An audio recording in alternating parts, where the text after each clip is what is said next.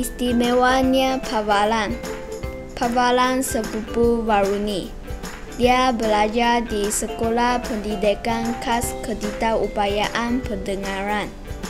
Keluarga Varuni prihatin terhadap Pavalan Mereka mempelajari bahasa isyarat tangan.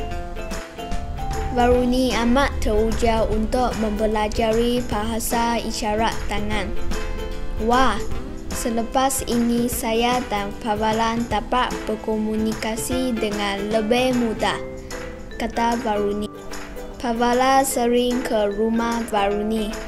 Abang Varuni membimbing Pavalan dalam pelajarannya. Selain membaca komik, Pavalan suka bermain pingpong bersama-sama Varuni.